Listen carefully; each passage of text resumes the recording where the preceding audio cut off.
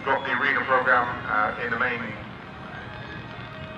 program, which we recommend highly because it has every bit of information you need about what's happening and also vehicles. But uh, enough of that. Um, I say, little Daimler. Daimlers are always easy to spot. They have the classic Daimler stuff. Uh, I believe this wagon actually attended the first uh, Welland Rally way, way back 50 years ago. So lovely to see it here in cracking working order with what's sublimated. So there we are. 1915, 100 years old next year for Yes. the, the next rally. We hope it's back next year for its 100th birthday. Something quite a lot more modern now coming up, carrying a little Fergie Epi. Uh, off our uh, map, another one of the great British marks. That one beautifully restored. I don't think it would have had paintwork like that when it was new, but that's no uh, uh, reason to uh, not paint it properly. On the other hand, when you get up to something like this lovely set of John Norman's, of course, we've gone to forward control, where the driver sits um, virtually along, well, he does sit alongside the engine, and that reduces the length of the vehicle, which makes it a lot handier when you're manoeuvring. Uh, you'll notice all of you will have seen space is not trivial for them at all, so uh, completely different indeed. Now for something we haven't seen before this week, so It's the Reliance. yeah, lovely to see the little Reliant Regal van. Uh, when uh, when I was quite a small lad, very economical transport, of course, three wheel, very manoeuvrable. Um, probably the ride and comfort left a bit to be desired. forerunner to the Reliant Robins that we saw later on in life. Oh, surely, yes, yes, indeed, Rich, yes. Now go on, you have a go at this one because you've been studying this. Hardly moving at all. Look at that, fantastic. Turning on a sixpence, I think was the expression back in the day. That is fantastic. The They were built, of course, by Scammell. That's one of the early ones, the little side valve engine. And now we've got a lovely Foden, uh, Foden winch tractor, a heavy haulage tractor. You'll notice the massive hubs on the back wheels. It's also fitted with a winch. You can see that poking out the back. The Foden winch is always easy to spot uh, with that prominent brake drum on the side.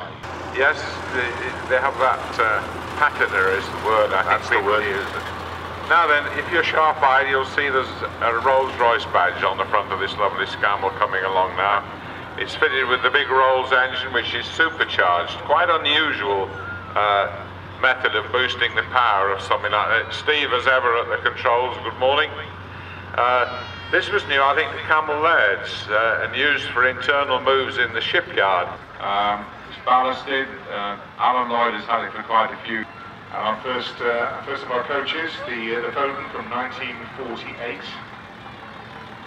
This one is particularly interesting. First of all, you've got the half cab, which was the classic style of those days. But this one, built by Foden, and it's fitted with the quite revolutionary Foden two-stroke engine. Only four and a half litres, but kicking out well onto 200 horsepower.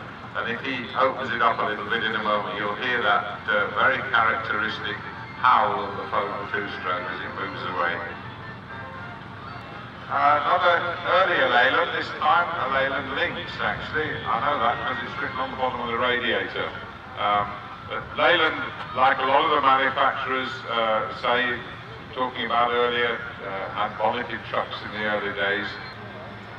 A different one coming up again now. We've got a Commer, another name which, as I mentioned earlier, has disappeared from the uh, uh, world of uh, vehicles as we know it. Now this one has got twin headlights and that tells me it's probably a two-stroke. Commers the other. Now then, we've got what I would call in Shropshire a man's wagon coming now. Foden eight-wheeler. Now if you fancy collecting a wagon, I noticed there was a for sale sign in the windscreen of this one this morning. But um, absolute classic uh, British eight-wheeler there. Uh, Gardner engine, probably a David Brown gearbox. Another lovely old Leyland, which according to the program is a Ford Model A tipper, but never mind. Again, we've got the bonnet on the front.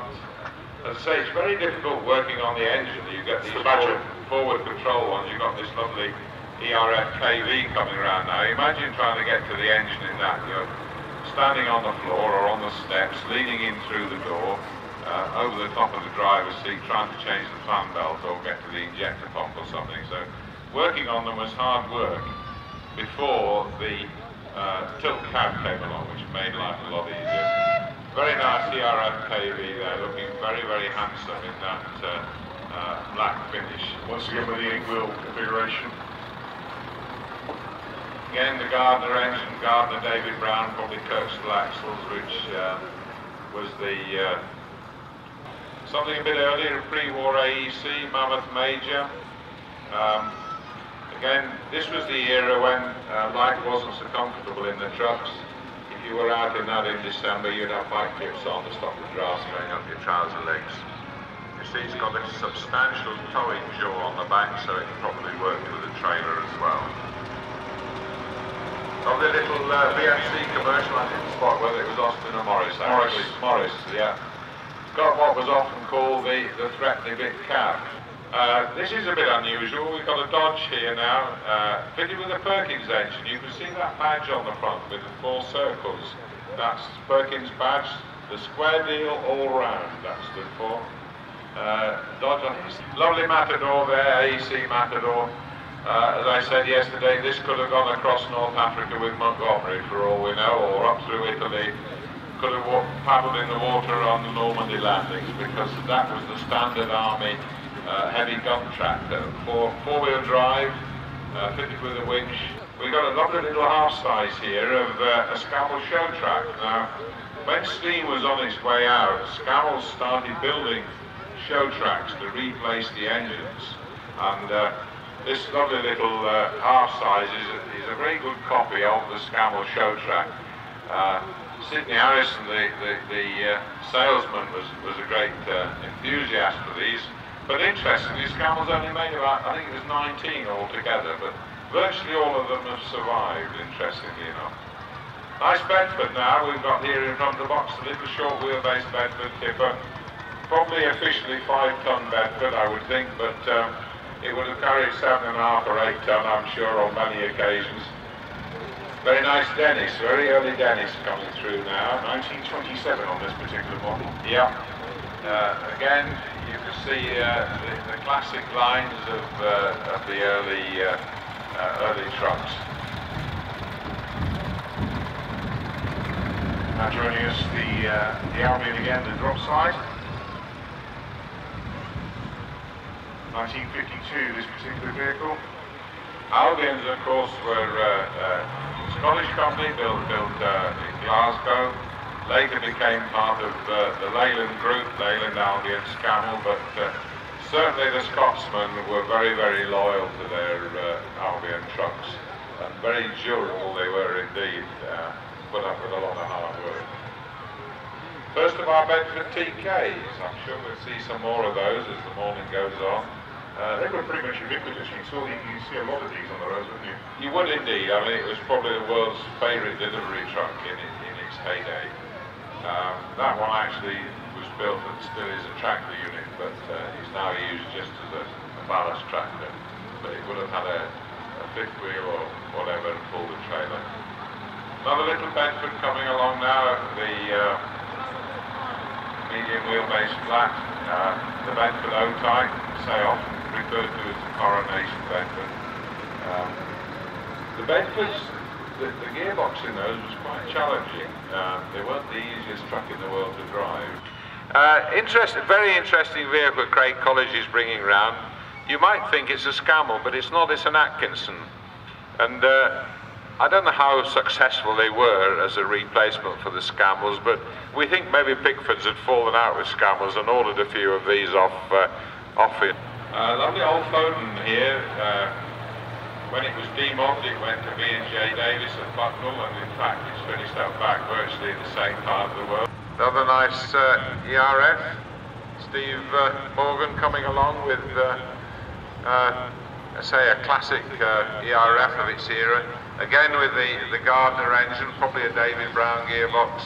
Um, virtually an indestructible combination that were good for millions of miles.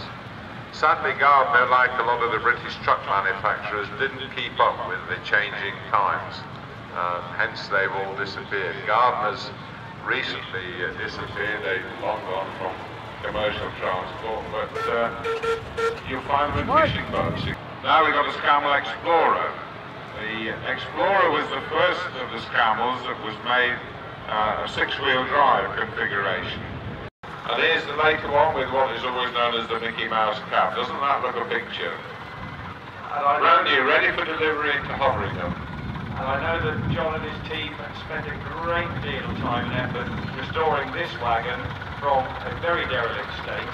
Uh, the painstaking work they put just into the rigging of the Neville Milt body alone, uh, almost defies belief. Fabulous to see it.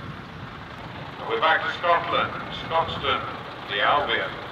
A, a later, interesting cab that. Looks as though, is that fiberglass? Or, or is it beautifully shaped aluminium paneling around the front? I would guess that's uh, aluminium on ash. Yeah, I, I wasn't, wasn't looking at it as almost compact.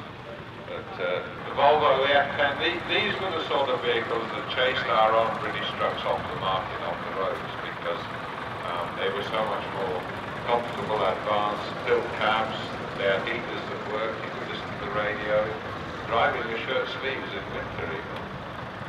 And that's followed by a lovely little Morris commercial, beautifully turned out, signed to A.T. Bird, Andrew Bird, our local roofing contractor, who likes to do the thing very much in style. And as you can see, ladies and gentlemen, uh, he's carrying his ladders and ropes and his builder's gin wheel pulley, and he's nicely bedecked out with period bunting.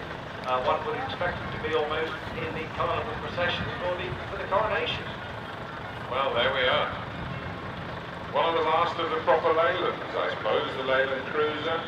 Um, in the, um, can't remember the model of the cab, but it was common to the Leyland group, wasn't it? Uh, 45. yeah, 16 ton, 260 horsepower, 1626 on